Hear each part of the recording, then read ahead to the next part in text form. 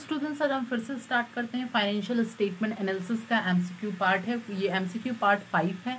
Already मैंने four MCQ lectures discuss कर चुके हैं। मोस्ट इंपॉर्टेंट आपके एग्ज़ाम पॉइंट ऑफ़ व्यू से एनालिसिस करके मैंने प्रिपेयर किया है, जो कि ये सारे क्वेश्चंस आने की पूरी संभावना है और क्वेश्चंस इसी में से आपको दिखेंगे। ठीक है? आइए स्टार्ट करते हैं क्वेश्चन नंबर वन से।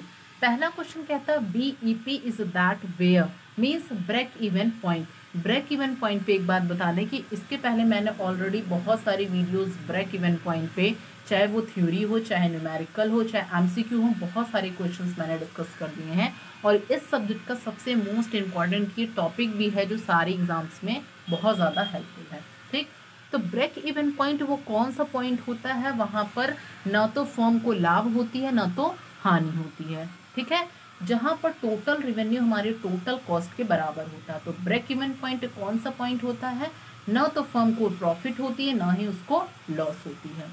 दूसरा क्वेश्चन कहता है BEP is a that point at which BEP कहता कि बीईपी वह पॉइंट है जहाँ पर क्या होता है? कुल राजस्व, कुल लागत के बराबर होते हैं। मीन्स क्या कहता है? जो टोटल कॉस्ट टोटल रिवेन्यू हमारी किसके इक्वल होती है? टोटल कॉस्ट के बराबर होती है। अगर ये क्वेश्चन दिया ऑप्शन में तो ये भी ऑप्शन सही है। बीपी कहता को न, कोई लाभ और ना ही हानि होती। मीन्स बीपी एक ऐसा पॉइंट है ना तो फॉर्म को लाभ होती ना तो हानि होती। तीसरा कहता है कि जहाँ पर आ, कुल योगदान मीन्स कंट्रीब्यूशन मार्जिन जो होता है आपके टोटल फिक्स्ड कॉस्ट के बराबर होता है। ठीक है? तो बीईपी वो पॉइंट है कौन कौन से हो जाएँगे जहाँ पर टोटल रेवेन्यू हमारी टोटल कॉस्ट के बराबर हो जाएगी? तो भी हमारा बीईपी वो पॉइंट है, जहाँ पर ना तो प्रॉफिट होगी, ना लॉस होगी। That is also break even point at that point जहाँ पर कंट्रीब्यूशन मार्जिन जो हमारी इक्वल होगा टोटल फिक्स्ड कॉस्ट के। नेक्स्ट है बीपी इन रुपीज़ बीपी का क्या फॉर्मूला होता है? इसके पहले मैंने ऑलरेडी सारे फॉर्मूलेस पर margin of safety PV ratio BP contribution सब पे थ्योरी और सारे इंपॉर्टेंट फॉर्मूलेज और न्यूमेरिकल्स डिस्कस किए हैं। ठीक है? तो उसे जाकर आप देखिए। तो बीईपी इन रुपीज़ क्या फॉर्मूला होता है? Fixed cost upon PV ratio next है फोर्थ है कि सुरक्षा का मार्जिन मार्जिन ऑफ़ सेफ्टी का क्या फॉर्मूला होता है? Sales minus BP mean sales minus break even point next question है to obtain the break even point in units total fix cost are divided by अगर हमें बीपी यूनिट्स में निकालना है तो फिक्स्ड कॉस्ट किससे डिवाइडेड होगा? मीन्स इकाइयों में बीपी प्राप्त करने के लिए कुछ निश्चित लागनों को किससे भाग देना पड़ेगा? तो टोट बीईपी इज़ इक्वल टू होता है कंट्रीब्यूशन पर यूनिट ठीक है? उससे हमें क्या करना पड़ेगा? डिवाइड करना पड़ेगा। नेक्स्ट क्वेश्चन है पीवी रेशियो का क्या फॉर्मूला होता है? प्रॉफिट वॉल्यूम रेशियो का। तो प्रॉफिट वॉल्यूम रेशियो का जो फॉर्मूला होता है sales minus sales minus variable upon sales into hundred ठीक है? नेक्स्ट क्वेश्चन है what will the effect of BEP by the increase in fixed cost कहता है बीईपी पर क्या प्रभाव पड़ेगा निश्चित लागत में वृद्धि से? कहता है कि अगर क्या होता है कि हमारी फिक्स्ड कॉस्ट बढ़ जाती है। तो बीईपी में क्या इफ़ेक्ट आएगा? तो उससे क्या आएगा कि बीईपी क्या हो जाएगा? बढ़ जाएगा इंक्रीज हो जाएगा, ठीक है? नेक्स्ट है परिवर्तनशील लागत में कमी पर बी पर क्या अभाव पड़ता है? परिवर्तनशील पूछा, अगर वेरिएबल कॉस्ट है तो ठीक है, अगर हमारा वेरिएबल कॉस्ट डिक्रीज करता है बीपी में तो उसका क्या इफ़ेक्ट पड़ेगा? तो उससे क्या होगा? वो डिक्रीज हो जाएगा। नेक्स्ट है इन बीपी चार्ट आप लोगों ने ब्रेक इवन पॉइंट चार्ट बनाया होगा तो उसमें देखा होगा एक एक्स एक्सिस होता है, एक वाई एक्सिस एक्स एक्सिस पे क्या रिप्रेजेंट करते हैं? वाई एक्सिस पे क्या रिप्रेजेंट करते हैं? तो वाई एक्सिस पे हम रिप्रेजेंट क्या करते हैं? कॉस्ट और सेल्स इन रुपीज़ मीन्स रुपए में लागत और बिक्री को रिप्रेजेंट करते हैं. नेक्स्ट क्वेश्चन नंबर टेन है PV ratio is express in terms of PV ratio हमने बताया है, आपको प्रॉफिट वॉल्यूम रेशियो जिसे हम बोलते हैं और इसको हमेशा हम किसमें एक्सप्रेस करते हैं? तो परसेंटेज में एक्सप्रेस करते हैं। नेक्स्ट है M O S explain the difference between जो मार्जिन ऑफ़ सेफ्टी होता है, सुरक्षा की जो सीमा होती है, वो किसका डिफरेंस होता है? तो वो किसका डिफरेंस होता है? एक्चुअल सेल्स माइनस बीईपी का होता है।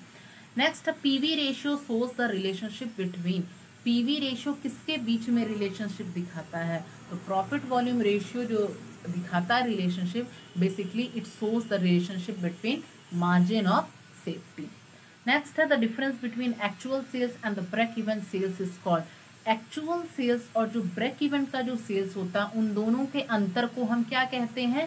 That is called as margin of safety जिसे हम सुरक्षा की सीमा एमओएस बोलते हैं।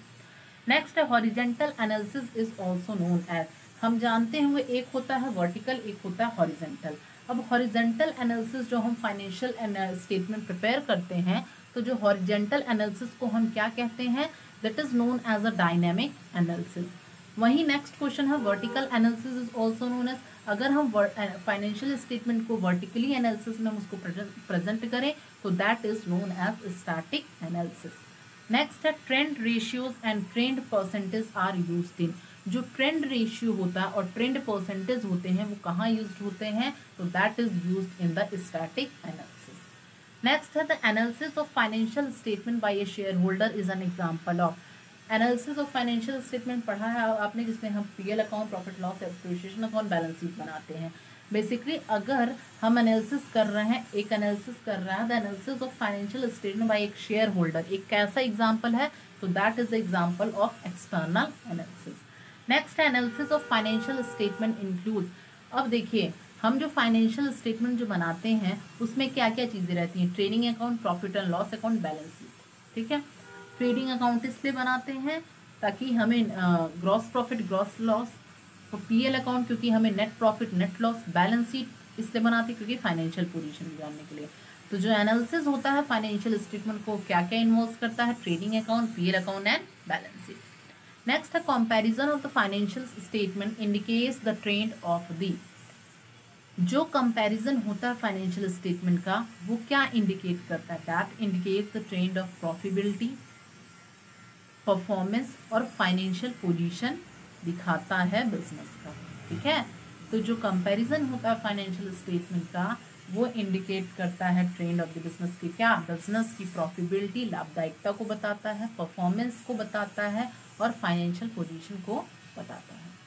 नेक्स्ट क्वेश्चन है common size statement present the various items as a percentage of common size जो स्टेटमेंट हम बनाते हैं, उसमें बहुत सारे हम वेरियस आइटम्स प्रेजेंट करते हैं एज अ परसेंटेज ऑफ़ किसके? तो वो हम शो करते हैं नेट सेल्स की तरह। The form of balance sheet balance sheet का फॉर्म कैसा होता है? तो बैलेंस शीट का फॉर्म दो तरह के होता है, एक हॉरिजेंटल भी हो सकता है और वर्टिकल भी हो सकता है। नेक्स्ट है the term financial statement includes financial statement क्या इंक्लूड्स करता है? Statement of profit loss account statement of profit and loss appropriation account और क्या होते हैं उसमें? बैलेंस शीट होते हैं। ये तीन चीज़ें आती हैं हमारी फाइनेंशियल स्टेटमेंट में। ठीक है? The term current assets include चालू संपत्तियों में क्या क्या इंक्लूड्स होती हैं? स्टॉक होती हैं डेटर्स होती हैं प्रीपेड एक्सपेंसेस होती हैं। इसके अलावा और कोई ऑप्शन अगर एग्ज़ाम में दिया तो that is a wrong next है statement of profit and loss account is known as जो स्टेटमेंट हम प्रॉफिट एंड लॉस अकाउंट का बनाते हैं तो हम उसे क्या कहते हैं? Statement of earnings statement of income and statement of operations तो ये अगर statement of profit and loss हम बना रहे हैं तो that is a known as a statement of earnings statement of income and statement of operations तीनों चीज़ कहेंगे। Last question of the day है financial statement provides a summary of financial statement में क्या क्या चीज़ें रहती हैं? वो किस चीज़ की समरी रहती है? उसमें हम अकाउंट्स बनाते हैं। जैसे हमने बताया ना प्रॉफिट एंड लॉस अकाउंट ये सारे अकाउंट्स हम प्रिपेयर करते हैं तो financial statement basically it is a summary of accounts तो आई होप ये बहुत ज़्यादा इंपॉर्टेंट क्वेश्चन थे जो मैंने एनालिसिस करके प्रिपेयर किया है। तो इसके पहले जो वीडियो नहीं देखा है, उसे आप वीडियो देखिए और ये भी क्वेश्चन बहुत ज़्यादा इंपॉर्टेंट हैं ओके थैंक यू